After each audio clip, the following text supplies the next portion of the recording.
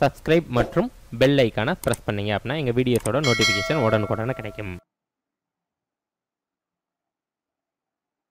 அனைத்து நண்பர்களுக்கும் ஆன்லைன் மீனியாவின் அன்பு வணக்கங்கள். நாம இன்னைக்கு டிசம்பர் எட்டு ரெண்டாயிரத்தி இருபத்தி மூன்றுல என்ன மாதிரியான நடப்பு நிகழ்வுகள் இருக்கு அப்படின்றது கனெக்ஷன் ஃபார்ம்ல நம்ம பார்க்கிறோம். கனெக்ஷன் ஃபார்ம்னா என்னப்பா? ஸ்கூல் புக் கண்டென்ட்டையும் ப்ரீவியஸ் இயர் கொஸ்டினையும் அந்த நடப்பு நிகழ்வுகளோட சேர்த்து பார்ப்பது. இப்படிலாம் பார்க்க முடியும் நீங்க நினைக்கிறீங்களா? மறந்துடாம நம்ம சேனலை சப்ஸ்கிரைப் பண்ணி வச்சுக்கோங்க. டெய்லி அப்படிதான் நம்ம நடப்பு நிகழ்வுகளை பார்த்துக்கிட்டு இருக்கோம். ஓகேங்களா சரி வாங்க. இன்னைக்கு நேத்து படிச்சதை ரிவைஸ் பண்ணிட்டு இன்னைக்கான தலைப்புகளுக்குள்ள போக ஆரம்பிக்கலாம். இப்ப நேற்று நாம என்ன படிச்சோம்? கனெக்ஷன் ஃபார்ம் ஆஃப் கரண்ட் அஃபேர்ஸ்ல ரிவைஸ் பண்ண போறோம். ஜம்மு காஷ்மீரோட மேப்பிங் கொடுத்திருக்காங்க. அது போக பாகிஸ்தான் ஆக்குபைட் காஷ்மீரோட மேப்பிங் கொடுத்திருக்காங்க. அது போக நூத்தி பதினாலு அப்படின்ற நம்பரும் கொடுத்திருக்காங்க. இப்போ நீங்க என்ன பதில் சொல்ல போறீங்க அப்படின்னா இந்த பாகிஸ்தான் ஆக்குபைட் காஷ்மீர் பகுதிகளில் இருந்து எத்தனை சீட்ஸை புதிதாக உருவாக்குவதற்கு மத்திய அரசு முயற்சி பண்ணிட்டு இருக்காங்க அப்படின்றத நீங்க சொல்லணும். ஓகேங்களா? சரி வாங்க. அடுத்து அடுத்து இன்னைக்கான முக்கியமான தலைப்பு என்ன இருக்கு அப்படின்றத பார்க்க ஆரம்பிக்கலாம். ஸோ முதல் கேள்வியா நாம என்ன பார்க்க போறோம் அப்படின்னா யுனெஸ்கோ அமைப்பினால் தற்போது கலாச்சார பட்டியலில் சேர்க்கப்பட்டுள்ள இந்திய நடனம் எது அப்படின்னு கேட்கப்பட்டிருக்கு. ஸோ இந்த கேள்விக்கான மிகவும் சரியான விடை ஆப்ஷன் சி கர்பா அப்படின்னு தெரியும். ஓகேங்களா அப்ப மேற்கூறிய ஆப்ஷன்ஸ் எல்லாம் எதற்காக வைக்கப்பட்டது? ஆப்ஷன் ஏ யக்ஷகானம் அப்படின்றது கர்நாடகாவில் இருக்கக்கூடிய ஒன் ஆஃப் தி நடனம் அப்படின்றது தெரியும். ஓகேங்களா? அதற்கப்புறம் கவுடியா நிருத்தியா அப்படின்றது வெஸ்ட் பெங்காலில் இருக்கக்கூடிய ஒன் ஃபார்ம் ஆஃப் டான்ஸ் அப்படின்னு தெரியணும் அதுக்கப்புறம் பிகு அப்படின்றது அஸ்ஸாம்ல இருக்கக்கூடிய ஒரு வகையான நடனம் அப்படின்னு தெரியணும் ஸோ இதெல்லாமே இந்தியாவில் இருக்கக்கூடிய வெவ்வேறு மாநிலங்களில் இருக்கக்கூடிய ஃபேமஸான நடனங்கள். ஆனால் இப்போ கர்பா அப்படின்ற நடனத்துக்கு தான் யுனெஸ்கோ அமைப்பு அங்கீகாரம் கொடுத்துருக்காங்க அப்படின்றத நம்ம படிச்சிருக்கோம். சரி இந்த கர்பா டான்ஸ் பற்றின விவரங்கள் நம்ம தெரிஞ்சுக்கணும்ல? அதை நியூஸ்க்கு போலாமா? அதற்கு முன்னாடி என் நண்பர்கள் எல்லோருக்கிட்டையும் ஒரு கைண்ட் ரிக்வஸ்ட் வீடியோ பார்த்துட்டு இருக்க நீங்க நம்ம வீடியோஸும் சப்போர்ட் பண்ணும் விதம் அப்படின்றது மறக்காம லைக் பண்ணிடுங்க. உங்க ஃப்ரெண்ட்ஸ்க்கும் ஷேர் பண்ணிடுங்க. அப்புறம் வீடியோ எப்படி இருக்கு அப்படின்றத கமெண்ட் பாக்ஸ்ல ஃபீட்பேக்காக தருவீங்க. பிகாஸ் உங்களுடைய ஃபீட்பேக் தான் என்ன அடுத்தடுத்த கிளாஸஸ்ல ரொம்ப எனர்ஜெட்டிக்கா போடுறதுக்கு உதவிகரமா இருக்கும். சரி வாங்க. இன்னைக்கு கர்பா டான்ஸ் சார்ந்த விவரங்கள்லாம் நம்ம பார்க்க ஆரம்பிக்கலாம். அப்போ கர்பா டான்ஸ்ல என்ன சொல்றாங்க? இது குஜராத் மாநிலத்துடன் தொடர்புடையது அப்படின்னு சொல்றாங்க. இப்போ யுனெஸ்கோ அமைப்பு சேர்த்திருக்காங்களே அவங்க எந்த பட்டியலில் சேர்த்திருக்காங்க? மனிதாபிமான கலாச்சார பாரம்பரிய பட்டியலில் சேர்த்திருக்காங்க. ஸோ இந்த நடனம் எப்பொழுது ஆடுவாங்க? நவராத்திரி திருவிழாவப்போ ஃபேமஸாக அந்த மாநிலத்தில் ஆடக்கூடிய ஒரு நடனமாக பார்க்கப்படுது. ஸோ இந்த நடனத்திற்கு சிறப்பு என்ன அப்படின்னா இந்த நடனம் மூலமாக சமூகத்தை ஒன்றிணைக்க முடியுது அப்படின்னு சொல்லிட்டு நம்ம நாட்டுடைய உள்துறை அமைச்சர் அவர்கள் சொல்லியிருக்காங்க ஓகேவா இதற்கப்புறம் இந்த யுனெஸ்கோ அமைப்பு தானே இந்த நடனத்தை அங்கீகரிச்சாங்க? யுனெஸ்கோனா என்ன விரிவாக்கம்? United nation education scientific and cultural organisation அப்படின்னு சொல்லுவாங்க ஓகேவா ஸோ இதோடைய தொடக்கம் ஆயிரத்தி தொள்ளாயிரத்தி நாற்பத்தி ஐந்து நவம்பர் பதினாறு. தலைமையகம் இங்க இருக்கு? பாரிஸ்ல இருக்கு. ஸோ இந்தியாவில் மொத்தமாக இந்த யுனெஸ்கோ அமைப்பினால் அங்கீகரிக்கப்பட்ட உலக பாரம்பரிய தளம் எத்தனை இருக்கு அப்படின்னா நாற்பத்தி இரண்டு இருக்கு அப்படின்னு தெரியணும் ஓகேங்களா ஸோ இங்க உங்களுக்கான கேள்வி என்ன அப்படின்னா நாற்பத்தி இரண்டாவது தளம் எது அப்படின்றத மறக்காம நீங்க சொல்லுங்க. சரி வாங்க. இப்போ நடனம் சார்ந்து பார்த்துட்டோம். அப்ப நடனம் சார்ந்ததை நம்ம புக் கண்டென்ட்டும் பார்க்க போறோம். பார்க்க ஆரம்பிக்கலாமா? ஸோ இந்தியாவில் நாட்டுப்புற நடனங்கள் அதனுடைய மாநிலங்கள். தமிழ்நாட்டை பொறுத்த வரைக்கும் நிறைய இருக்கு. கரகாட்டம் உயிலாட்டம் கும்மி தெருக்கூத்து கும்மலாட்டம் புலியாட்டம் கோலாட்டம் தப்பாட்டம்லாம் சொல்றாங்க. கேரளால தெய்யம் மோகினி ஆட்டம். குஜராத்தை பொறுத்த வரைக்கும் கார்வா தாண்டியா.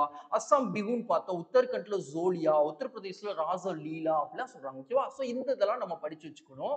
அதற்கப்புறம் பாருங்க இப்ப பாருங்களேன் இந்த நடனம் சார்ந்து டிஎன்பிசி கேட்பாங்களா? கேட்டுட்டே தான் இருக்காங்க. ஒரே எக்ஸாம்ல அப்படி அப்படியே அடுத்தடுத்த கொஸ்டின்ஸா நூத்தி பத்துல ஒண்ணு நூத்தி பதினொன்னுல ஒண்ணு ஓகேங்களா அதே கொஸ்டின்ஸ் தான் நான் எடுத்திருக்கேன். டூ தௌசண்ட் டுவெண்ட்டி தேர்ட்ல கேட்கப்பட்டது. எங்க பாருங்க கிராமிய நாட்டியம் மாநிலம் அப்படின்னு கொடுத்துட்டாங்க. தவறானதை நீ எடுப்பா அப்படின்னு சொல்லியிருக்காங்க. கரமா இந்த நடனம் நம்ம புக்ல படிக்காட்டாலும் நம்ம தெரிஞ்சுக்கிறோம். ரிப்பீட்டட் ஆகுறதுக்கு வாய்ப்பு இருக்கு ஓகேங்களா அப்ப பீகாருடன் தொடர்புடையது. காதி வங்காளத்துடன் தொடர்புடையது. மாய சவாரி ஒரிசாவுடன் தொடர்புடையது. அஸ்ஸாம் பிகுன் நம்ம படிச்சோம். புக்ல படிச்சிருந்தாலே நம்ம எவிக் பண்ணிட முடியுது தவறா இருக்குன்னு. நதராஸ் அப்படின்றது குஜராத்துடன் தொடர்புடையது அப்படின்னு தெரியும் ஓகேங்களா? சரி வாங்க. இன்னொரு கேள்வியும் அப்படியே பேக் டு பேக் இருந்த கேள்வியும் அதே எக்ஸாம்ல அப்படியே கேட்கப்பட்டிருக்கு. நீங்க பாருங்க நாட்டுப்புற நடனங்கள் உரிய மாநிலம் பொறுத்துக அப்படின்னு கொடுத்தாங்க அதுல தவறானதை எடுக்க சொன்னாங்க. இதுல பொறுத்து சொல்லியிருக்காங்க. அப்ப கதகளி அப்படின்றது மகாராஷ்டிராவுடன் தொடர்புடையது அப்படின்னு கொடுத்திருக்காங்க ஃப்ரெண்ட்ஸ் சோ நான் உங்ககிட்ட கேட்கிறேன் கதகளி மகாராஷ்டிரா அப்படின்றது சரியா தவறா அப்படின்றது மறக்காம சொல்லுங்க. யாத்ரா அப்படின்றது அஸ்ஸாம் அப்படின்னு கொடுத்துருக்காங்க. ஸோ இது டிஎன்பிஎஸ் ஓட கீனால நம்ம அப்படியே பார்த்துக்கிறோம். அங்கியா நாட் அப்படின்னு சொல்லுவாங்க. ஸோ இது என்ன சொல்றாங்க? வங்காளம் அப்படின்னு சொல்லிட்டாங்க. அதற்கப்புறம் தமாசா அப்படின்னு என்ன சொல்றாங்க? கேரளாவுடன் தொடர்புடையது அப்படின்னு சொல்லுவாங்க. ஓகேவா இதெல்லாமே பாருங்க டூ தௌசண்ட் டுவெண்ட்டி தேர்ட்ல கேட்கப்பட்ட டிஃப்ரெண்டான நடனங்கள். ஓகேவா இதெல்லாத்தையும் நம்ம தெரிஞ்சு வச்சுக்கிறது ரொம்ப ரொம்ப ரொம்ப முக்கியமா இருக்கும். சரி வாங்க அடுத்து வேற என்ன இருக்குன்னு பார்க்கலாம். அடுத்த விஷயம் நாம என்ன பார்க்க போறோம் அப்படின்னா இரண்டாயிரத்தி இருபத்தி நாலில் இஸ்ரோ அனுப்ப உள்ள ஜிசாட் டுவெண்ட்டி என்னும் செயற்கைக்கோள் எதனுடன் தொடர்புடையது அப்படின்னு கேட்டிருக்காங்க. ஸோ இந்த கேள்விக்கான மிகவும் சரியான விடை ஆப்ஷன் டி தகவல் தொடர்புடன் தொடர்புடையது அப்படின்னு தெரியும் ஓகேங்களா இப்போ மேற்கூறிய ஆப்ஷன்ஸ்லாம் எதற்காக வைக்கப்பட்டது? காலநிலை மாற்றம் அப்படின்றது இன்சாட் த்ரீ டிஎஸ் அப்படின்ற செயற்கைக்கோளை அனுப்ப இருக்காங்க. அது அப்கமிங் ப்ரோக்ராமோடது இஸ்ரோவோடது ஓகேங்களா விண்வெளி ஆய்வுக்காக ககன்யான் திட்டத்தை அனுப்ப இருக்காங்க. அதுவும் அப்கமிங் ப்ரோக்ராமுடன் தொடர்புடையது. சூரியன் ஆய்வு ஜனவரி ஏழு இரண்டாயிரத்தி இருபத்தி நாலுல எல்வன் புள்ளி அடைய போது ஆதித்யா எல்வன் ஸோ அதையும் நாம ஞாபகப்படுத்திக்கிட்டாச்சு. ஸோ இங்க என்ன படிச்சிருக்கோம்? ஜிசாட் டுவெண்ட்டி அப்படின்றது இரண்டாயிரத்தி இருபத்தி நாலுல ஏவ இருக்காங்க. அது எதனுடன் தொடர்புடைய? தகவல் தொடர்புடன் தொடர்புடையது அப்படின்னு படிச்சிருக்கோம். ஓகேங்களா சரி வாங்க இது சார்ந்த விவரங்களை ஏன் இப்ப படிச்சுட்டு இருக்கோன்றதை பார்ப்போம். இஸ்ரோவுடைய இரண்டாயிரத்தி இருபத்தி நான்காம் ஆண்டு திட்டத்தை வந்து தற்பொழுது ஜிதேந்தர் சிங் அப்படின்னு சொல்லக்கூடிய இணை அமைச்சர். ஓகேங்களா அவங்க என்ன பண்ணிருக்காங்க? வெளியிட்டு இருக்காங்க ஸோ இரண்டாயிரத்தி இருபத்தி நாலுல என்ன மாதிரியான பிளான்ஸ் எல்லாம் இருக்கு? அப்போ ஸ்மால் சேட்டலைட் லான்ச் வெஹிக்கிள்ஸ் அப்படின்னு சொல்லுவாங்க. ஐநூறு கிலோகிராம் கொண்ட ஒரு செயற்கைக்கோளை விண்ணிற்கு அனுப்புவது. ஸோ இந்த மாதிரி சிறிய ரக செயற்கைக்கோளை ஏவுவதற்கு இதை பயன்படுத்துவாங்க. இந்த ராக்கெட்டை பயன்படுத்துவாங்க. ஸோ அதற்கான தொழில்நுட்ப விளக்க செயற்கைக்கோளை நாங்கள் வந்து டூ தௌசண்ட் டுவெண்ட்டி ஃபோர் ஆரம்ப காலகட்டத்தில் நம்ம பண்ண போறோம் அப்படின்னு சொல்லியிருக்காங்க. அதுக்கப்புறம் ககன்யான் திட்டத்திற்கான சோதனை ரெண்டு சோதனை அங்கே பண்ண போறோம். ரெண்டு சோதனையுமே ஆளில்லா சோதனை தான் அப்படின்னு சொன்னாங்க ஓகேவா அதுக்கப்புறம் மீண்டும் பயன்படுத்தும் வகையிலான ராக்கெட்டை சோதிக்க போறோம் அப்படின்னு சொல்லியிருக்காங்க. அதுக்கப்புறம் நியூ ஸ்பேஸ் இந்தியா லிமிடெட் அப்படின்னு சொல்லுவாங்க. இவங்க என்ன பண்ணுவாங்க அப்படின்னா நம்ம இஸ்ரோவுக்கு வணிக ரீதியான ஒப்பந்தங்கள்லாம் மேற்கொண்டு வணிக ரீதியாக செயற்கைக்கோளை ஏவி கொடுப்பதற்கு உதவிகரமாக இருக்கக்கூடிய ஒரு அமைப்பு தான் new space India limited so இவங்களுடைய வணிக ஒப்பந்தத்தின் அடிப்படையில் ஜிசாட் டுவெண்ட்டி என்னும் தகவல் தொலைத்தொடர்பு சேட்டலைட்டை வந்து இஸ்ரோ ஏவி கொடுக்க போறாங்க டூ தௌசண்ட் டுவெண்ட்டி ஃபோர்ல ஓகேங்களா அடுத்த விஷயம் என்ன பண்ற போறாங்க? ஆறு பிஎஸ்எல்வி சேட்டலைட்டும் மூணு ஜிஎஸ்எல்வி சேட்டலைட்டும் அதுல ஒண்ணு நாசாவும் இஸ்ரோவும் சேர்ந்து அனுப்பப்படக்கூடிய ஒரு ஜிஎஸ்எல்வி சேட்டலைட் இருக்குன்னு சொல்றாங்க. எல்விஎம் த்ரீ சேட்டலைட்டும் ரெண்டாயிரத்தி இருபத்தி நாலுல ஏவ இருக்கும் அப்படின்னு சொல்லிட்டு அப்கமிங் ப்ரோக்ராம்ஸ் எல்லாத்தையும் அந்த இணையமைச்சர் அவர்கள் டேபுலேஷன்ஸ்ல சொல்லியிருப்பாங்க. நாம நாம அது பத்தின அவேர்னஸ்லாம் நம்ம தெரிஞ்சுக்கிட்டோம். அதுக்கப்புறம் நடைமுறையில் இப்போ என்ன திட்டம் இருக்கு? ஆதித்யா எல்வன் ப்ராசஸிங்ல இருக்கு. எல்வனை நோக்கி பயணிச்சிட்டு இருக்கு. ஜனவரி ஏழு இரண்டாயிரத்தி இருபத்தி நாலுல என்ன பண்ண போகுது? லேண்ட் ஆக போகுது. அப்ப இந்த எல்வன் அப்படின்றது பூமியில இருந்து பதினைந்து லட்சம் கிலோமீட்டர் தொலைவில் இருக்கு அப்படின்றது தெரிஞ்சுக்கணும் ஓகேங்களா சோ இங்க உங்களுக்கான கேள்வி என்ன அப்படின்னா ஆதித்யா எல்வனுடைய திட்ட இயக்குனரின் பெயர் என்ன? அவங்க தமிழ்நாட்டை சார்ந்தவங்க அவங்க பெயரை மட்டும் நீங்க சொல்லுங்க ஓகேங்களா அடுத்து வேற என்ன இருக்குன்னு பார்க்கலாம். இங்க பாருங்க புக் கண்டென்ட்ல கூட சில நேரங்கள்ல இந்த மாதிரி இஸ்ரோ வந்து அனுப்பின திட்டங்கள் சார்ந்த விஷயங்களை டாபுலேஷன்ஸ் பண்ணி கொடுத்துருப்பாங்க. அதுல மூணு முக்கியமான திட்டங்களை டாப்லேட் பண்ணி கொடுத்துருக்காங்க. சந்திராயன் ஒன்று அப்படின்றது நாம அக்டோபர் இருபத்தி இரண்டு ரெண்டாயிரத்தி எட்டுல ஏவணும் ஓகேங்களா? சந்திராயன் ரெண்டு அப்படின்றது ரெண்டாயிரத்தி பத்தொன்பதுலையும் மங்கள்யான் அப்படின்றது ரெண்டாயிரத்தி பதிமூணுலையும் ஏவணும். இதெல்லாம் முக்கியமான இந்திய விண்வெளி திட்டங்கள் அப்படின்னு சொல்லுவாங்க ஓகேவா? அதே மாதிரி நாசாவும் என்ன பண்றாங்க? அப்போலோ திட்டம் ஆயிரத்தி தொள்ளாயிரத்தி அறுபத்தி ஒண்ணுலே பண்ணாங்க. இஸ்ரோவுடன் இணைந்து என்ன பண்ணாங்க அப்படின்னா செய்த பணிகளும் நிறைய இருக்கு நாசா அப்படின்னு சொல்லுவாங்க. நாசாவில் பணியாற்றிய இந்தியர்களும் நிறைய இருக்காங்க அப்படின்ற விஷயமா சொன்னோம் ஓகேவா? நாம இது சார்ந்த விவரங்களை நம்ம புக்ல இருந்து தெரிஞ்சுக்கிட்டாச்சு. அடுத்து வேற என்ன இருக்குன்னு பார்க்கலாம். அடுத்த விஷயம் நம்ம என்ன பார்க்க போறோம் அப்படின்னா இப்போ இஸ்ரோ வந்து இஓஎஸ் நாட் ஃபோர் அப்படின்னு சொல்லக்கூடிய புவி கண்காணிப்பு செயற்கைக்கோளை ஏவுனாங்க.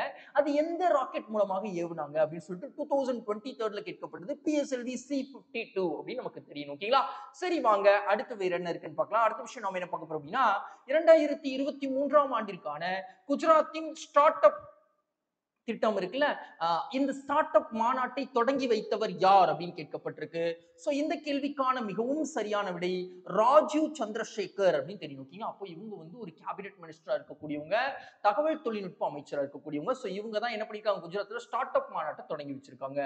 இப்போ ஆப்ஷன்ஸ்லாம் இவங்க சார்ந்த விஷயங்களும் நம்ம எது படிச்சிருக்கோமா? எல்லாருமே கேபினெட் மினிஸ்டர்ஸ் தான்.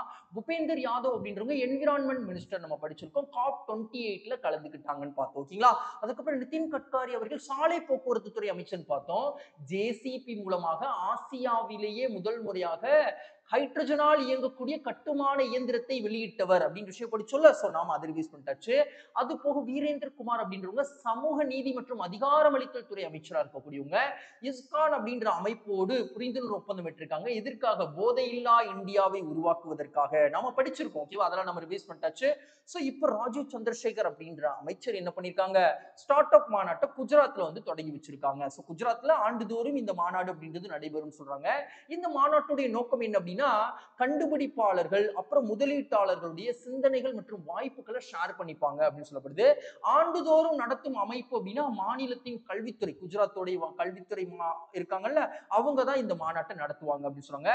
ஸோ இந்த MeitY ministry of information technology இருக்காங்கல்ல ஸோ இந்த அமைச்சர் என்ன சொல்றாங்க அப்படின்னா நம்மளுடைய எண்மய பொருளாதாரம் அப்படின்றது என்ன ஆயிட்டு இருக்கு அப்படின்னா நாளடைவில் வளர்ந்துட்டே இருக்கு. அது நம்மளுடைய உள்நாட்டு உற்பத்தியில பெரும் பங்கு வகிக்குது. இரண்டாயிரத்தி பதினாலு காலகட்டத்தில் நாலு புள்ளி ஐந்து சதவீத கான்ட்ரிபியூஷன் தான் கொடுத்தது. இரண்டாயிரத்தி இருபத்தி மூன்று அசப்னோ பதினோரு சதவீத கான்ட்ரிபியூஷன்ஸ் கொடுக்குது. நாம இலக்கு ஃபிக்ஸ் பண்ணிருக்கோம். இரண்டாயிரத்தி இருபத்தி ஆறுல இருபது சதவீதமாக இதை உயர்த்தணும் அப்படின்னு சொல்லிட்டு ஓகேங்களா அப்போ இதற்கு உறுதுணையாக இருக்கக்கூடிய திட்டம்னா டிஜிட்டல் இந்தியா திட்டம் இரண்டாயிரத்தி பதினைந்துல கொண்டு வரப்பட்டது அப்படின்னு சொல்றாங்க ஸோ அடுத்த பத்து வருடம் அதாவது சதாப்தம் அப்படின்னு சொல்லலாம் இந்த சதாப்தங்கள்ல ஸ்டார்ட் அப் மற்றும் புத்தாக்க துறைக்கான வாய்ப்புகளை அதிகரிப்பு செய்வதுதான் அப்படின்னு விஷயங்கள சொல்லியிருக்காங்க ஓகேவா இப்போ நாம இங்க என்ன படிச்சிருக்கோம்? குஜராத்ல வந்து ஸ்டார்ட் அப் மாநாட்டை துவக்கி வச்சது மெய்டி அப்படின்ற மினிஸ்டர்ஸ் தான் துவக்கி வச்சிருக்காங்கன்னு பார்த்தோம். வாங்க அடுத்து வேற என்ன இருக்குன்னு பார்க்கலாம். அடுத்த விஷயம் நாம என்ன பார்க்க போறோம் அப்படின்னா இங்க பாருங்க. இப்போ இந்த ஸ்டார்ட் அப் திட்டத்திற்கு உறுதுணையாக இருக்கக்கூடிய டிஜிட்டல் இந்தியா திட்டம் மட்டும் கிடையாது. ஸ்டார்ட் அப் இந்தியா திட்டம் அப்படின்னே ஒண்ணு கொண்டு வந்து ஜனவரி பதினாறு இரண்டாயிரத்தி பதினாறுல அப்படின்னு சொன்னாங்க. இது புதிதாக தொழில் தொடங்குவதற்கு உதவி பண்ணுச்சு. வேலை வாய்ப்புகளை உருவாக்கி வச்சு அதுக்கப்புறம் வளங்களையும் உருவாக்குச்சு அப்படின்னு சொல்றாங்க நிறைய தொழில் முனைவோரை டெவலப் பண்ணுச்சு அப்படின்னு சொல்றாங்க ஸ்டாண்ட் அப் இந்தியா திட்டம் இரண்டாயிரத்தி பதினாறுல கொண்டு வரப்பட்டதான் ஆனா ஏப்ரல் அஞ்சுல கொண்டு வரப்பட்டது ஸோ இது என்ன பண்ணுவாங்க அப்படின்னா கடன் கொடுக்கக்கூடிய திட்டம் கடன் கொடு கடன் உதவி மூலமாக நிறைய தொழில் முனைவோர்களை ஈர்க்கக்கூடிய ஒரு திட்டம் அப்படின்றது தெரியணும் பர்டிகுலரா ஷெட்யூல் கேஸ்ட் ஷெட்யூல் ட்ரைப்ஸ்ல அதுக்கப்புறம் உமன் எம்பவர்மெண்ட்டை கூட்டக்கூடிய ஒரு திட்டமாக பார்க்கப்படுது அப்படின்றத நம்ம படிச்சிருக்கோம் ஓகேங்களா சோ இங்க உங்களுக்கான கேள்வி என்ன அப்படின்னா மேக் இன் இந்தியா திட்டம் அப்படின்றது எந்த வருஷம் இந்தியா ஆரம்பிச்சாங்க அப்படின்றத நீங்க சொல்லுங்க ஓகேங்களா அடுத்து பாருங்க ஒரு ப்ரீவியஸ் இயர் கொஸ்டின் பாக்குறோம் ஸோ இப்போ ஸ்டார்ட் அப் சார்ந்து நிறைய பார்த்ததுனால ஒரு கம்பெனி சார்ந்த ஒரு கேள்வி. இந்தியாவின் முதல் மென்பொருள் தொழிலகம் சாஃப்ட்வேர் கம்பெனி எது? அப்படின்னா டாடா கன்சல்டன்சி அப்படின்னு தெரியும் ஓகேங்களா ஸோ நாம ஐடி மினிஸ்ட்ரி சார்ந்து பார்த்தோம். ஸோ அதனால சாஃப்ட்வேர் கம்பெனி சார்ந்த விஷயங்களை படிச்சிருக்கோம். அடுத்த விஷயம் என்னன்னு பார்க்கலாமா? நகர்ப்புற வெள்ள தடுப்பு மேலாண்மை திட்டத்தின் முதலாவது முயற்சி எங்கு மேற்கொள்ளப்படுகிறது அப்படின்னு கேட்கப்பட்டிருக்கு. ஸோ ஸோ இந்த கேள்விக்கான மிகவும் சரியான விடையை நம்ம தமிழ்நாட்டில் சென்னையில தான் முதல் முயற்சியாக இந்த திட்டத்தின் வாயிலாக மேற்கொள்றாங்க. ஸோ மேற்கூறிய ஆப்ஷன்ஸ்லாம் எதற்காக வைக்கப்படுது? ரீசன்ட் டேஸ்ல படிச்சதை நாம என்ன பண்ண போறோம்? ரிவைஸ் பண்ண போறோம். கொல்கத்தா அப்படின்றது NCRB national crime record bureau அறிக்கையின்படி மிகவும் பாதுகாப்பான நகரம் குற்றங்கள் கம்மியாக இருக்கக்கூடிய ஒரு நகரமாக பார்க்கப்படுது அப்படின்னு நம்ம பார்த்தோம். ஓகேங்களா? கியோன்ஜர் அப்படின்றது எங்க இருக்கு அப்படின்னா ஒடிசால இருக்கு. ஸோ அங்க என்ன பண்ணாங்க அப்படின்னா ஒயில்டு ஓக்ரா அப்படின்னு சொல்லக்கூடிய ஒரு புதிய தாவர வகையை வந்து ஐசிஏஆர் கண்டுபிடிச்சாங்க அப்படின்னு விஷயம் பார்த்தோம். அதுக்கப்புறம் ஹைதராபாத் அப்படின்றது தெலுங்கானாவுடைய கேபிட்டல் ஸோ தெலுங்கானால புதிய சிஎம் ஆக ரேவந்த் ரெட்டி அவர்கள் பதவியேற்றிருக்காங்க அப்படின்னு விஷயம் பார்த்தோம். ஸோ அதெல்லாம் நம்ம ரிவைஸ் பண்ணிட்டாச்சு ரீசன்ட் டேஸ்ல படிச்சது. இப்போ சென்னையில நகர்ப்புற வெள்ள தடுப்பு மேலாண்மை திட்டம் முதல் முயற்சியாக இம்ப்ளிமெண்ட் பண்ணப்பட்டிருக்கு அப்படின்னு பார்த்தோம். சரி வாங்க இந்த திட்டத்துடைய நோக்கம் என்ன அப்படின்றத பார்க்கலாம். எதிர்காலத்தில் நகரங்கள்ல வெள்ளங்களை தடுப்பதற்கான ஒரு திட்டமாக பார்க்கப்படுது. இதற்கு ஒப்புதல் வந்து இந்திய பிரதமர் கொடுத்திருக்காங்க. ஸோ இந்த திட்டத்திற்கான செலவு மதிப்பு அப்படின்னு பார்த்தோம்னா ஐநூத்தி அறுபத்தி ஒரு கோடி அப்படின்னு சொன்னாங்க. மத்திய அரசு ஐநூறு கோடி ப்ரொவைட் பண்றாங்க. சோ நிதி ஒதுக்கீடு எதன் மூலமாக பண்றாங்க அப்படின்னா என்டிஆர்எஃப் அப்படின்னு சொல்லுவாங்க ஓகேவா அதாவது தேசிய பேரிடர் மேலாண்மை இருக்குல்ல ஸோ அதோடைய நிதியிலிருந்து பண்றாங்க அப்படின்னு சொல்லுவாங்க ஓகேவா நேஷனல் டிசாஸ்டர் ரிலீஃப் ஃபண்ட் அப்படின்னு சொல்லுவாங்க. இரண்டாயிரத்தி ஐந்துல ஒரு சட்டம் கொண்டு வந்திருக்கோம். அந்த சட்டத்தின் வாயிலாக இந்த நிதி தொகுப்பு அப்படின்றது உருவாக்கப்பட்டிருக்கும். ஆர்டிகிள் இருநூத்தி அறுபத்தி ஆறு பப்ளிக் அக்கௌண்ட் அப்படின்னு சொல்லுவாங்க ஓகேவா இரநூத்தி அறுபத்தி ஆறு ரெண்டு சப்டெக்ஷன்ஸ்ல தான் இந்த என்டிஆர்எஃப் நிதி செயல்பட்டு இருக்கு அப்படின்னு தெரியும் ஓகேங்களா ஸோ மேற்கூறிய இந்த திட்டத்துடைய செயல்பாடு என்ன அப்படின்னா சென்னையில் இருக்கக்கூடிய பெரிய ஏரிக்கள் ஒரு எட்டு ஏரிக்களை புனரமைக்க போறதா சொல்லியிருக்காங்க. அதுல சாந்தங்காடு ஏரி மணலி ஏரி சடையன்குப்பம் ஏரி மாதாவரம் ஏரி எல்லாம் புனரமைக்க போறோம் அப்படின்னு விஷயங்கள் சொல்லியிருப்பாங்க. ஸோ இங்க உங்களுக்கான கேள்வி என்ன அப்படின்னா நம்ம சென்னையில வந்து கொசஸ்தலை ஆறு அப்படின்றது இருக்கு. அப்படின்றது உண்மையா தவறா அப்படின்றது நீங்க சொல்லுங்க. ஓகேங்களா? அடுத்து இங்க பாருங்க. ஒரு நம்ம தமிழ்நாட்டில் இப்போ வெள்ளம் வந்ததுனால தான் இந்த திட்டத்துக்கு மத்திய அரசு ஒப்புதல் கொடுத்துருக்காங்க. ஸோ தமிழ்நாட்டில் எப்போலாம் வெள்ளம் பாதிப்பு வருது அப்படின்னா வடகிழக்கு பருவக்காற்று காலங்களில் பாதிப்பு ஏற்படுது. குறிப்பாக கடைசியாக இப்போ இரண்டாயிரத்தி இருபத்தி மூன்றில் மிக்ஜாம் புயல் மூலமாக மிகப்பெரிய ஒரு வெள்ளம் மக்கள் பெரிய ஒரு பாதிப்பில் இருக்காங்க. ஸோ இதே மாதிரி டூ தௌசண்ட் ஃபிஃப்டீன்லையும் நடந்தது அப்படின்னு சொல்றாங்க நம்ம ஸ்கூல் புக்கில் ஓகேங்களா அதில் நம்ம மாநிலம் மட்டும் இல்லை ஆந்திர பிரதேசமும் பாதிக்கப்பட்டதுன்னு சொல்றாங்க. ஐநூறுக்கும் ஐநூறுக்கும் மேற்பட்டோர் உயிரிழந்திருக்காங்க. ஒன்று புள்ளி எட்டு மில்லியன் அளவுக்கு பொருளாதார சேதத்தையும் ஏற்படுத்துச்சு அப்படின்னு சொல்றாங்க ஓகேவா சரி மக்கள் வந்து இடம்பெயர்வதற்கு அது உது உறுதுணையாக இருந்தது. இருநூறு மில்லியன் ரூபாய் வந்து என்னாச்சு? பொருளாதார இழப்பு அப்படின்றது ஏற்பட்டதுன்னு சொல்றாங்க. ரெண்டாயிரத்தி பதினைந்தில் வந்த புயலின் காரணமாக அப்படின்னு சொல்றாங்க. ஸோ இந்த புயலுடைய தாக்கம் அப்படின்றது கடலோர மாவட்டங்கள் எல்லா இடத்துலையுமே தமிழ்நாட்டை பொறுத்த வரைக்கும் இருக்கும். வடகிழக்கு பருவக்காற்று காலங்கள்ல அப்படின்றது நம்ம ஸ்கூல் புக்ல கொடுத்துருக்காங்க. புயல் சார்ந்து படிச்சதுனால இதை நம்ம ரிவைஸ் பண்ணியிருக்கோம். அடுத்து பாருங்க. இப்போ இந்த ஏரிகள்லாம் புனரமைக்க தான் மேஜரான ஒரு பணியாக இந்த வெள்ள பாதுகாப்பு திட்டத்துல நம்ம பார்த்தோம் ஓகேங்களா? சோ இங்க பாருங்க அதனால ஏரி சார்ந்த ஒரு ப்ரீவியஸ் இயர் கொஸ்டின் பாக்குறோம் சாம்பார் ஏரி அப்படின்றது எங்க இருக்கு? ராஜஸ்தான்ல இருக்கு. புலிக்காட் ஏரி எங்க இருக்கு? ஒடிசால இருக்கு. சிலிக்கா ஏரி எங்க இருக்கு? சாரி புலிக்காட்டு ஏரி ஆந்திர பிரதேசம் மற்றும் தமிழ்நாட்டுல இருக்கு. சிலிக்கா ஏரி தான் ஒடிசால இருக்கு அப்படின்னு தெரியணும் வேம்பநாடு ஏரி அப்படின்றது கேரளால இருக்கு அப்படின்னு தெரியணும் ஓகேங்களா? ஸோ இதெல்லாம் நாம தெரிஞ்சுக்கிட்டாச்சு. அடுத்து வேற என்ன இருக்குன்னு பார்க்கலாம். அதற்கு முன்பாக உங்ககிட்ட கேட்கப்படக்கூடிய கேள்வி என்னன்னா லோக்தாக் லேக் அப்படின்னு சொல்லுவாங்க ஓகேவா இந்த ஏரி எங்க இருக்கு அப்படின்றது மறக்காம நீங்க சொல்லுங்க. சரி இங்க பாருங்க. அடுத்த கேள்வியை பார்க்கலாம். தேசிய நிலநடுக்க ஆய்வு மையம் தமிழ்நாட்டில் எந்த மாவட்டத்தில் தற்பொழுது நிலநடுக்கம் ஏற்பட்டுள்ளதாக பதிவு செய்துள்ளது அப்படின்னு கேட்டிருக்காங்க. ஸோ இந்த கேள்விக்கான மிகவும் சரியான விடை ஆப்ஷன் ஏ செங்கல்பட்டுல நிலநடுக்கம் ஏற்பட்டிருக்கு. அதற்கான பதிவை தேசிய நிலநடுக்க ஆய்வு மையம் பதிவு செஞ்சிருக்காங்க. ஸோ கீழே குறிப்பிடப்பட்ட ஆப்ஷன்ஸ்லாம் என்ன? லாஸ்ட் கொஸ்டின் கூட ஒரு பேரிடர் சார் தான் பார்த்தோம். இங்கேயும் ஒரு பேரிடர் சார் தான் பார்க்குறோம். ஆனால் இப்போ ரீசன்ட் டேஸில் நம்ம தமிழ்நாட்டில் வெள்ள பாதிப்பு தான் அதிகமாக இருக்கு. ஸோ அதை பற்றி தான் ரிவைஸ் பண்ண போகிறோம் நாகப்பட்டினத்தில் இருக்கிறதுலயே ஒரு மிகப்பெரிய ஒரு புயல் கஜா புயல் அப்படின்னு சொல்லிட்டு டூ தௌசண்ட் எயிட்டீன் காலகட்டத்தில் அடிச்சது ஓகேங்களா ஸோ அதை நாம ஞாபகப்படுத்திட்டாச்சு. கன்னியாகுமரியில் ஒகி புயல் அப்படின்னு சொல்லிட்டு டூ தௌசண்ட் செவன்டீன் காலகட்டத்தில் அடிச்சது அதை ரிவைஸ் பண்ணியிருக்கோம். சென்னையில் வர்தா புயல் அப்படின்னு சொல்லிட்டு டூ தௌசண்ட் ஃபிஃப்டீன் சிக்ஸ்டீன் காலகட்டத்தில் அடிச்சது. ஸோ நாம அதை ரிவைஸ் பண்ணிட்டாச்சு. ஸோ புயல்கள் சார்ந்த ரிவிஷன்ஸ்க்காக வைக்கப்பட்ட ஆப்ஷன்ஸ் ஆனால் செங்கல்பட்டுல தற்பொழுது நிலநடுக்கம் ஏற்பட்டிருக்கு அப்படின்றது தேசிய நிலநடுக்க ஆய்வு மையம் என்ன பண்ணியிருக்காங்க? பதிவு செஞ்சிருக்காங்க. சரி சென்னையில் மட்டும்தான் நிலநடுக்கம் ஏற்பட்டதா? இல்லை மற்ற மாநிலங்கள் மாநிலங்கள்லயும் ஏற்பட்டது. கர்நாடகால விஜயபுரா அப்படின்ற இடத்துலையும் மேகாலயால ஷில்லாங் அப்படின்ற இடத்துலையும் குஜராத்தில் ராஜ்கட் அப்படின்ற இடத்துலயும் நான்கு மாநிலங்களில் நிலநடுக்கம் பதிவிடப்பட்டிருக்கு அப்படின்னு சொல்றாங்க. ஸோ நில அதிர்வோட அளவு எப்படி இருந்தது? ரிக்டர் அளவுகோல்ல பார்க்கும்பொழுது மூணு புள்ளி ரெண்டு மூணு புள்ளி ஒன்று அந்த அளவுகோல்ல இருந்தது அப்படின்னு சொல்றாங்க. ஸோ அப்படி அளவுகோல்ல இருக்கும் பொழுது தாக்கம் எப்படி இருக்கும் அப்படின்னா பாதிப்பு அப்படின்றது ரொம்ப கம்மியாக தான் இருக்கும்.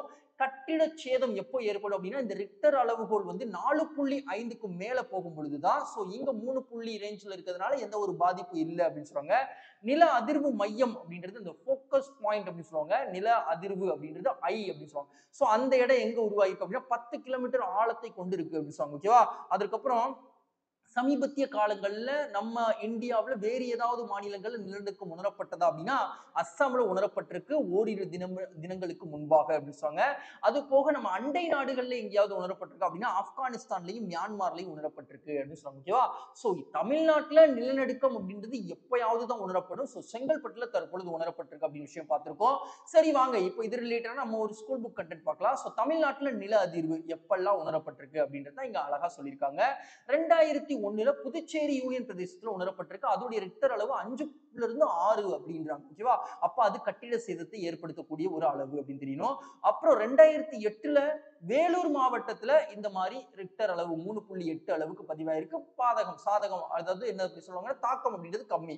அதுக்கப்புறம் இரண்டாயிரத்தி பதினொன்னுல அரியலூர்ல ஏற்பட்டிருக்கு மூணு புள்ளி ஐந்து ரிக்டர் அளவுகள்ல.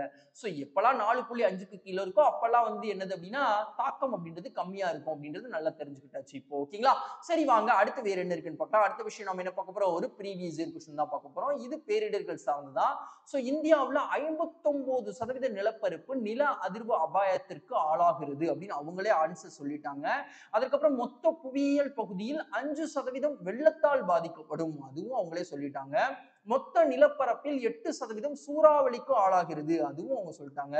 சாகுபடி பரப்பில் எத்தனை சதவீதம் வறட்சியால் பாதிக்கப்படும் நம்ம கிட்ட கேட்டிருக்காங்க? அறுபத்தெட்டு சதவீதம் அப்படின்னு தெரியும் ஓகேங்களா? ஸோ இருக்கிறதுலே மிகப்பெரிய ஒரு பேரிடராக வறட்சி அப்படின்றது பார்க்கப்படுதுன்னு சொல்றாங்க ஓகேவா? அடுத்து வேற என்ன இருக்குன்னு பார்க்கலாம். அடுத்த விஷயம் நம்ம என்ன பார்க்க போறோம்னா கூகுள் நிறுவனம் அறிமுகப்படுத்தியுள்ள புதிய செய்யறிவு தொழில்நுட்பத்தின் பெயர் என்ன அப்படின்னு கேட்கப்பட்டிருக்கு. ஸோ இந்த கேள்விக்கான மிகவும் சரியான விடை ஜெமினி அப்படின்னு சொல்றாங்க ஓகேவா ஸோ மார்க்கெட்ல சாட் ஜிபிடி அப்படின்றது மைக்ரோசாஃப்ட் நிறுவனம் மூலமாக அறிமுகப்படுத்தப்பட்டது. ஸோ அதற்கு போட்டிக்கு இணையாகத்தான் இப்போ ஜெமினி அப்படின்றது என்ன பண்ணிருக்காங்க இன்ட்ரடியூஸ் பண்ணிருக்காங்க கூகுள் நிறுவனம். ஸோ எர்னி அப்படின்னு சொல்லிட்டு சைனால இருக்கக்கூடிய ஒரு நிறுவனம் இந்த சாட் ஜிபிடிக்கு போட்டியாக அறிமுகப்படுத்தினாங்க சமீபத்திய காலங்களில். அதை நம்ம ரிவியூஸ் பண்ணிட்டோம். பாட் அப்படின்றதும் கூகுள் நிறுவனம் தான் பண்ணாங்க. இந்த சாட் ஜிபிடி இணையாக ஆனா அதனால போட்டி போட முடியல. இப்போ அதோட அப்டேட்டட் வெர்ஷனாக தான் ஜெமினி அப்படின்றத இப்ப செய்யறிவு தொழில்நுட்பம் புதிய தொழில்நுட்பமாக அறிமுகப்படுத்தியிருக்காங்கன்னு தெரிஞ்சுக்கணும். ஓகேங்களா சரி வேற என்ன இருக்குன்னு பார்க்கலாம். இங்க பாருங்க கூகுள் நிறுவனத்துடைய நோக்கம் என்ன அப்படின்னு பார்க்கலாம். சாட் ஜிபிடிக்கு போட்டியாக அறிமுகப்படுத்தியுள்ளனர் இந்த கூகுள் நிறுவனம் அப்படின்னு சொல்றாங்க. ஓகேவா கூகுள் பார்ட் அப்படின்னு ஒன்று அறிவு ஆல்ரெடி அறிமுகப்படுத்தினாங்க. அதற்கு மாற்றாகத்தான் இப்போ இந்த ஜெமினி அப்படின்றத பண்ணியிருக்காங்க. அனைத்து செய்யறிவு தொழில்நுட்பத்தையும் விஞ்சணும் அப்படின்றத இதோடைய நோக்கமாக இருக்கு. ஸோ இந்த அறிவிப்பு வெளியிட்டது கூகுள் சிஇஓ சுந்தர் பிச்சை அவர்கள்.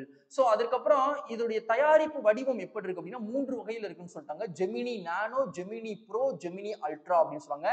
இந்த ஜெமினி நானோ ஆல்ரெடி வந்து பாட் மாறியே தான் இருக்கு. ஜெமினி ப்ரோ அப்படின்றது டிசம்பர் பதிமூணுல அறிமுகப்படுத்துறாங்க. ஜெமினி அல்ட்ரா அப்படின்றது இரண்டாயிரத்தி இருபத்தி நாலுல அறிமுகப்படுத்த போறாங்க.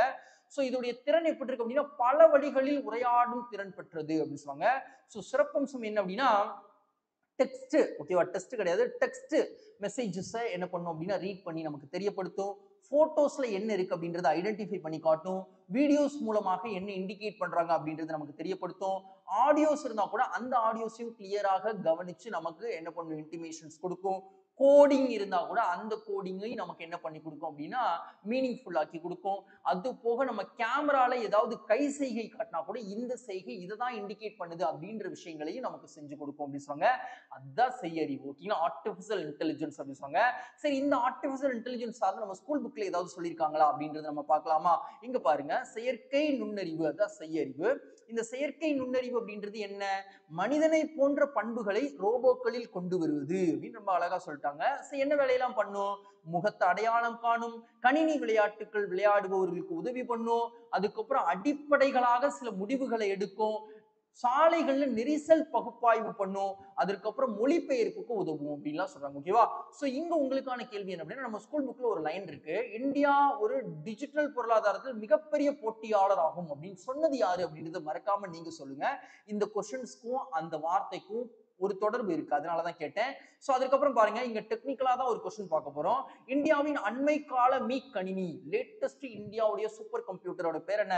பரம் சித்தி டூ தௌசண்ட் டுவெண்ட்டி தேர்ட்ல கேட்கப்பட்டது ஞாபகம் வச்சுக்கோங்க ஓகேங்களா அடுத்து வேற என்ன இருக்குன்னு பார்க்கலாமா? அடுத்த விஷயம் நம்ம என்ன பார்க்க போறோம் அப்படின்னா போப் இதழின் இரண்டாயிரத்தி இருபத்தி மூன்றுக்கான உலகின் சக்தி வாய்ந்த பெண்களின் பட்டியலில் இந்தியாவின் முதன்மையானவர் யார் அப்படின்னு கேட்டா கேபினெட் மினிஸ்டரா இருக்கக்கூடியவங்க ஃபினான்ஸ் மினிஸ்டரா இருக்கக்கூடியவங்க ஆப்ஷன் ஏல இருக்கக்கூடியவங்க நிர்மலா சீதாராமன் அவர்கள் தான் இந்தியாவில் முதன்மையானவரா இருக்காங்க ஓகேவா ஸோ இவங்க உலக அடிப்படையில் பார்க்கும் பொழுது பின்தங்கிய ரேங்க்ல தான் இருக்காங்க ஆனா இந்தியாவில் முதன்மையானவர்கள்.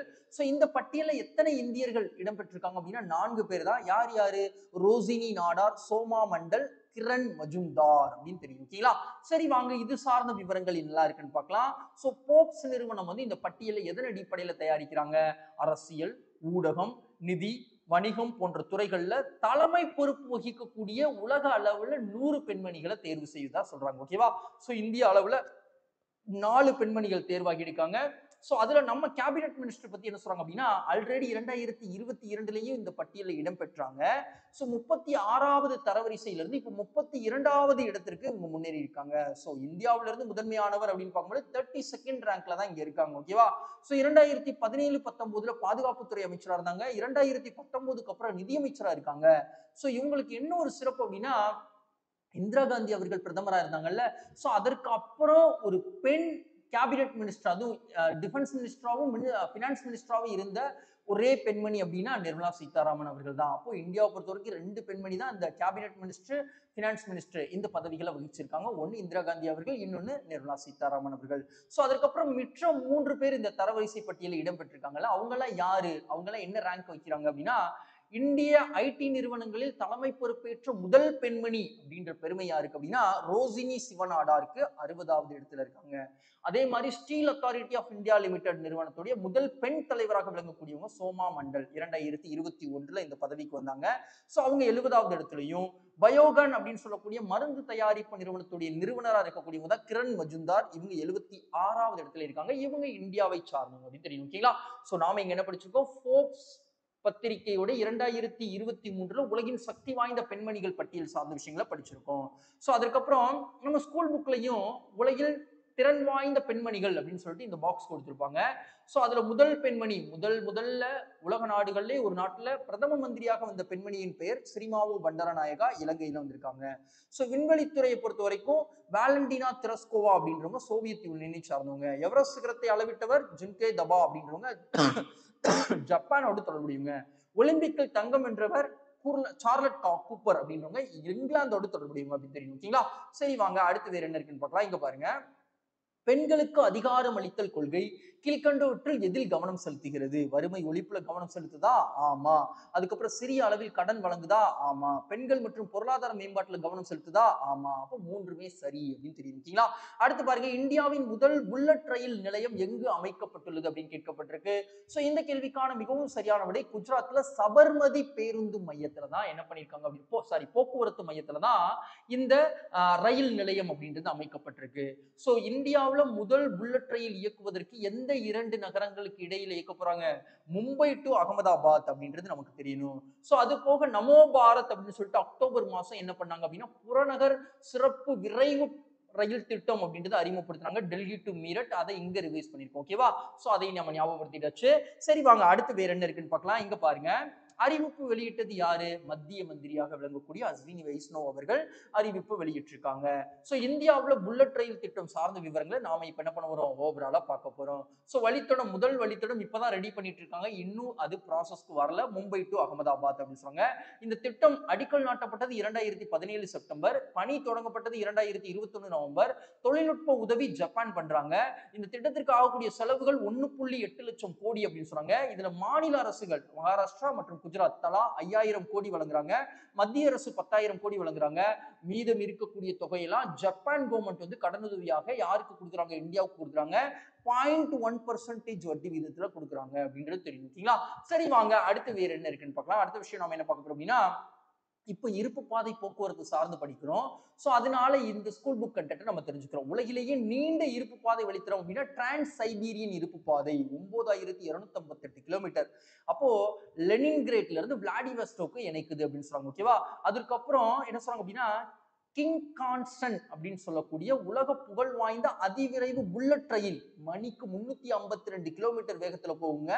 எதை எதை இணைக்குது? ஒசாகால இருந்து டோக்கியோவை இணைக்குது அப்படின்னு சொல்லுவாங்க. சோ ஆசியாவிலேயே இரண்டாவது மிகப்பெரிய இருப்பு பாதை போக்குவரத்து வலையமைப்பாக இந்தியா திகழுது அப்படின்னு விஷயங்கள் சொல்றாங்க ஓகேவா சோ இந்த ஒசாகால இருந்து டோக்கியோ வரைக்கும் சொல்லக்கூடிய புல்லட் ரயில்ல சமீபத்திய காலங்கள்ல தமிழ்நாட்டில் இருக்கக்கூடிய ஒரு மிக உயர்ந்த பதவியில இருக்கவர் பயணம் பண்ணாரு. யாரு அப்படின்றத மறக்காம கமெண்ட் பாக்ஸ்ல சொல்லுங்க. அடுத்த விஷயம் ஒரு ப்ரீவியஸ் இயர் கொஸ்டின் இங்க கொடுக்கப்பட்டிருக்கு. ஸோ ரயில்வே சார்ந்து எது தவறாக பொருந்தியுள்ளது? அப்பட்டமா தெரியுது மத்திய ரயில்வே சென்னைன்னு கொடுத்திருக்காங்க. தென்னக ரயில்வே தானே சென்னை. மத்திய ரயில்வே மும்பைன்னு தெரியும். ஓகேங்களா? அதுதான் தவறா இருக்குன்னு தெரியணும். அடுத்த விஷயம் பாருங்க. சமீபத்திய நிகழ்வுடன் சரியாக பொறுத்துக்கன்னு சொல்லிட்டாங்க. ரெப்போ ரேட் அப்படின்றது இந்த வருடம் ஐந்தாவது முறையாக மாற்றம் இல்லை அப்படின்னு சொல்லிட்டு ரிசர்வ் பேங்க் கவர்னர் வந்து சொல்லியிருக்காங்க. ஆறு புள்ளி ஐந்து சதவீதத்திலேயே தான் இருக்க போகுது அப்படின்னு சொல்லியிருக்காங்க. ஸோ ப்ரீவியஸ் கிளாஸஸ்லயும் நான் ரெப்போ ரேட்னா என்ன அப்படின்றதையும் நான் சொல்லி கொடுத்துருக்கேன். ஸோ அதுக்கப்புறம் இங்க பாருங்க வேறு என்ன விஷயங்கள்லாம் ஆர்பிஐ சொல்றாங்க அப்படின்னா முன்பு வந்து இந்த வருஷத்திற்கான பொருளாதார மதிப்பு இந்தியாவிற்கு ஜிடிபி ஆறு புள்ளி ஐந்து சதவீதம் கணிச்சிருந்தாங்க. இப்ப ஏழு சதவீதம் அப்படின்னு உயர்த்தி இருக்காங்க அதுக்கப்புறம் என்ன சொல்றாங்க அப்படின்னா யூபிஐ டிரான்சாக்சன் கல்வியிலையும் மருத்துவமனையிலையும் அதிகபட்சம் ஒரு லட்சம் தான் பண்ண முடியற அளவுக்கு இருந்தது. இப்ப அதை அஞ்சு லட்சமாக அந்த வரம்பை மாற்றி அமைச்சிருக்காங்க. அது போக பணவீக்கத்துடைய மதிப்பு எவ்வளவு கணிச்சிருக்காங்க? அஞ்சு புள்ளி நாலு சதவீதம் கணிச்சிருக்காங்க. இதெல்லாம் நம்ம தெரிஞ்சுக்கிட்டாச்சு. தேஜஸ் போர் விமானம் நம்ம உள்நாட்டிலே தயாரிக்கப்படக்கூடிய ஒரு போர் விமானம் இந்த போர் விமானத்தை வாங்குவதற்கு நைஜீரியா பிலிப்பைன்ஸ் அர்ஜென்டினா போன்ற நாடுகள் முன் வர்றாங்க அப்படின்றது தெரியணும். அதுக்கப்புறம் மிசோரம் முதல்வராக தற்பொழுது பதவியேற்றுள்ளவங்க லால்து ஹோமா அப்படின்னு தெரியணும். இவங்க எந்த கட்சியை சார்ந்தவங்க அப்படின்றத மறக்காம கமெண்ட் பாக்ஸ்ல சொல்லுங்க. டெல்லி எய்ம்ஸ்ல வந்து சீனாவில் அஃபெக்ட் ஆன நிமோனியா பாதிப்பு இங்க ஒரு சில நபருக்கு இருப்பதாக சந்தேகிக்கிறாங்க அப்படின்றது தெரியும் ஓகேங்களா? அடுத்து வேற என்ன இருக்குன்னு பார்க்கலாம். அடுத்த விஷயம் நாம என்ன பார்க்க போறோம்? இப்போ மிசோரம் சார்ந்து பார்த்ததுனால ஆயிரத்தி தொள்ளாயிரத்தி எண்பத்தி ஏழாம் ஆண்டு இந்திய யூனியனின் இருபத்தி மூன்றாவது மாநிலமாக மிசோரம் உருவாக்கப்பட்டது அப்படின்றதையும் கூடுதலா தெரிஞ்சுக்கணும் ஓகேங்களா? சரி வாங்க இன்றைக்கான பத்தாவது கேள்வி. உலக டேபிள் டென்னிஸ் நட்சத்திர போட்டியாளருக்கான தொடர் எங்கு நடைபெற உள்ளது அப்படின்னு கேட்கப்பட்டிருக்கு. கோவாவில் நடைபெற உள்ளது அப்படின்னு தெரியணும் அதே மாதிரி ரீசன்ட் டேஸ்ல நடந்தது பதிமூன்றாவது ஆடவருக்கான ஆசிய ஹாக்கி போட்டி அப்படின்றது சென்னையில் நடைபெற்றது. சோ அது போக இந்த வருடம் வந்து ஆடவருக்கான உலகக்கோப்பை ஹாக்கி போட்டி புவனேஸ்வரில் நடைபெற்றது தெரியணும் அதே மாதிரி ஆடவருக்கான ஐம்பது ஓவர் கிரிக்கெட் உலகக்கோப்பை போட்டி குஜராத்ல இறுதி போட்டி நடைபெற்றது அப்படின்றது நமக்கு தெரியணும் ஓகேங்களா அதெல்லாம் நம்ம ரிவைஸ் பண்ணிட்டாச்சு. ஸோ கோவால தான் உலக டேபிள் டென்னிஸ் நட்சத்திர போட்டியாளருக்கான தொடர் நடக்க போகுது. ஸோ ஒரு குயிக் ரிவிஷன் தான். யுனெஸ்கோ அமைப்பு வந்து கார்பா அப்படின்னு சொல்லக்கூடிய நடனத்தை அங்கீகரிச்சிருக்காங்கன்னு பார்த்தோம். ஜிசாட் டுவெண்ட்டி அப்படின்ற செயற்கைக்கோள் தகவல் தொடர்புடன் தொடர்புடையது. இரண்டாயிரத்தி இருபத்தி நாலுல இஸ்ரோ ஏவ இருக்காங்கன்னு பார்த்தோம். குஜராத்தின் ஸ்டார்ட் அப் மாநாட்டை வந்து மெய்டி மினிஸ்டர் வந்து என்ன பண்றாங்க? ஓபன் பண்ணாங்க. அப்படின்னு விஷயம் பார்த்து தொடங்கி வச்சாங்கன்னு பார்த்தோம். நகர்ப்புற வெள்ள தடுப்பு மேலாண்மை திட்டம் முதல் முயற்சியாக சென்னையில அறிமுகப்படுத்தியிருக்காங்கன்னு பார்த்தோம். தேசிய நிலநடுக்க ஆய்வு மையம் வந்து செங்கல்பட்டில் நிலநடுக்கம் ஏற்பட்டிருக்கு அப்படின்ற பதிவிட்டிருக்காங்க. ஸோ புதிய செய்யறிவு தொழில்நுட்பமாக கூகுள் நிறுவனம் என்ன பண்ணிருக்காங்க ஜெமினி அப்படின்றது இன்ட்ரோடியூஸ் பண்ணிருக்காங்க சாட் ஜிபிடிக்கு போட்டியாக. உலகின் சக்தி வாய்ந்த பெண் அப்படின்றது போப்ஸ் பட்டியல் வந்து வெளியிடப்பட்டிருக்கு. அதுல இந்தியாவில் முதன்மையானவராக நம்மளுடைய நிதியமைச்சர் வந்து இடம்பெற்றிருக்காங்க. சோ முதல் புல்லட் ரயில் நிலையம் அப்படிங்கிறது சபர்மதி போக்குவரத்து நிலையத்துல வந்து அமைச்சிருக்காங்க அப்படின்னு விஷயம் பார்த்தோம். தேஜஸ் போர் விமானத்தை வாங்குவதற்கு மூன்று நாடுகள் முன் வந்திருக்காங்க. அதுல அர்ஜென்டினா ஒண்ணு அதுக்கப்புறம் பிலிப்பைன்ஸ் ஒண்ணு நைஜீரியா ஒண்ணு அப்படின்னு விஷயம் பார்த்தோம். அதுக்கப்புறம் உலக டேபிள் டென்னிஸ் நட்சத்திர போட்டி அப்படின்றது கோவால நடைபெற இருக்கு அப்படின்னு விஷயம் பார்த்தோம். ஸோ இதெல்லாம் நாம ரிவைஸ் பண்ணியாச்சு. இன்னைக்கான தகவல் முடிஞ்சது ஃப்ரெண்ட்ஸ் இந்த வீடியோ எப்படி இருந்தது அப்படின்றத மறக்காம கமெண்ட் பாக்ஸ்ல கமெண்ட் பண்ணுங்க. இந்த வீடியோ பிடிச்சிருந்தது அப்படின்னா லைக் பண்ணிடுங்க. உங்க ஃப்ரெண்ட்ஸ்க்கு ஷேர் பண்ணிடுங்க. தேங்க்யூ நாளைக்கு சந்திக்கலாம்.